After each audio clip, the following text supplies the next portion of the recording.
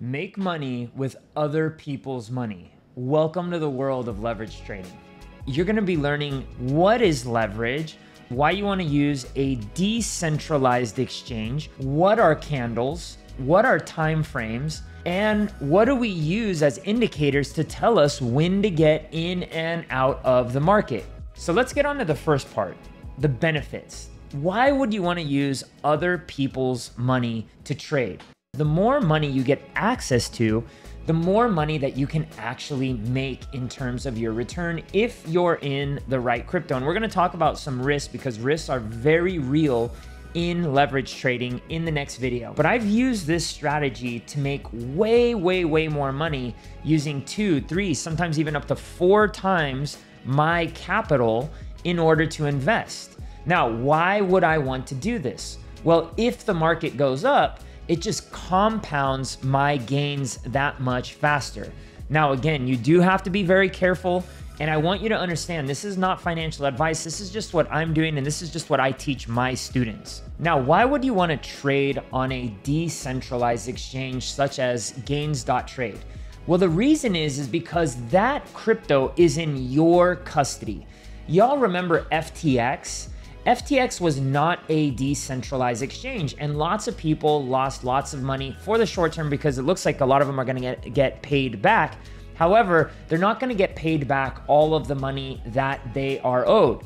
On decentralized exchanges, it is an honest way and a fully transparent way for you to trade in your own custody using what are called smart contracts. I'm not going to talk about smart contracts too much today but smart contracts essentially say, hey, if I trade for this, and if I set parameters to take a profit or to uh, set a, a stop loss, it will generate these things using the code so that I don't need to worry about some third party, you know, potentially not executing or them taking my money like has happened with so many different centralized exchanges. Again, the most famous one was FTX. And guess what? They were the largest leverage trading exchange in the world at that point in time. So we always want to make sure that the money or crypto is in our custody. This is rule number one. And again, this is something that I teach to my students in their first lesson. Now, let's talk about what candles are because a lot of people don't even understand what that is. So let's go here to my screen and you can see here each one of these little bars that we have is a representation of the time frame that we're on. So, say for instance, right here, this time frame is set to 24 hours. That means that each one of these bars in time represents one day or 24 hours, okay? And this gives us an idea as to what the market is doing within that time frame. Now, some people like to go to like way faster time frames like 10 minute or the 15 minute. I'm not a big fan. This is just too volatile, it's too twitchy. I like zooming out because that helps me to make better long term decisions. In regards to my indicators, I use longer time frames, but on gains, it only allows you to go up to 24 hours. So here, I usually set it to 24 hours because, again, I want to get a scope of the long term, not just these quick little movements that are happening in short time amounts of time because I don't have time to sit there and watch the market all day long. So, what I do is I set this up at 24 hours right when I get into gains. That way, I make sure that I'm able to look at this from afar. Now, one of the things that you want to do is you want to connect your wallet because when you connect your wallet to the decentralized exchange, it's like logging into your account, except that's basically your login. So there is no, you know, username and password in DeFi. What it is is you use your wallet to log in. That's how you give permission. And if your wallet's not connected, you cannot log in. So you can see up here, this is where you would be logging in and clicking to, to get set up. Some other real quick things that you may wanna understand here are what are these here? These are basically pairs that are being traded. Now you can see here, these are different logos here. These are the pairs that are being traded on different blockchains. So this one's being traded on Polygon and these are being traded on Arbitrum. You need to understand how to bridge money over to Arbitrum in order to leverage trade using gains.trade with a lot of their pairs. Now, they have some pairs which you can see here on again Polygon, which you can see right here, and Arbitrum. Now, they have this as a practice. Uh, you can practice if you want to learn how to do leverage trading. That's a great uh, way to start. Uh, however, I just know how to do it, so I've gone in and just started here. But you want to make sure that usually you're set to Arbitrum because this is where the most amount of volume is. What do I want when I'm looking for a decentralized exchange? Well, I want lots of volume. So let's take a look at the daily trades here. This is something that tells me how much volume is going on in Arbitrum. So right here, it does say $28 million worth of volume.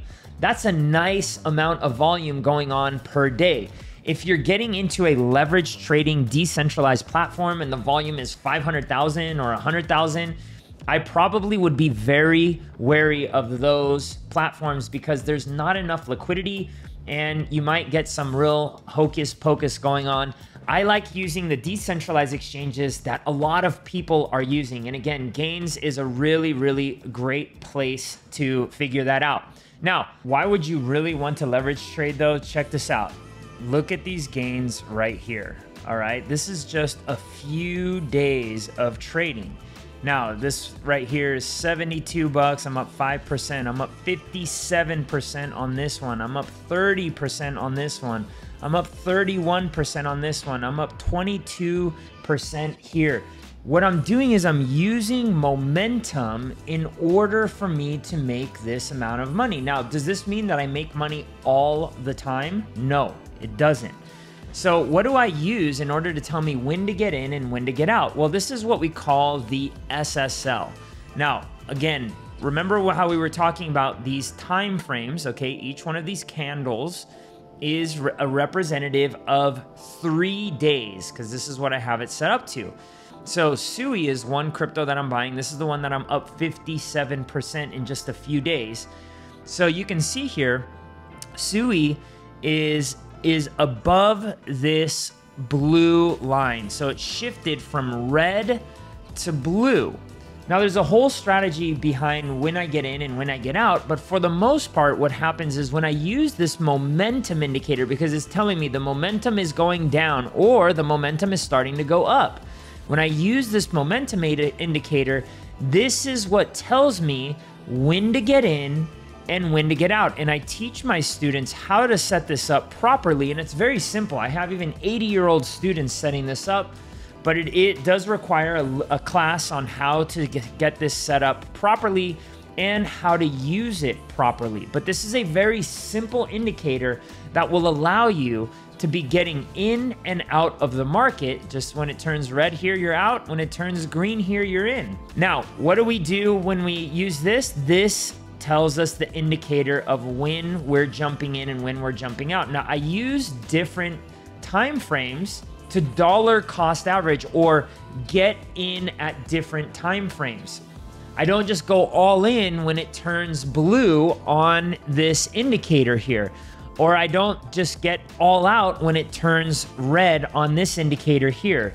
There's a method to this strategy that we teach in our course, but it helps us to identify when to get in and when to get out. We've got three more videos to go, but I'm also having a webinar on October 15th. It's limited space, so you want to get registered right away on going in deeper as to some of our success stories, but also how you can take part in learning this stuff on a deeper level.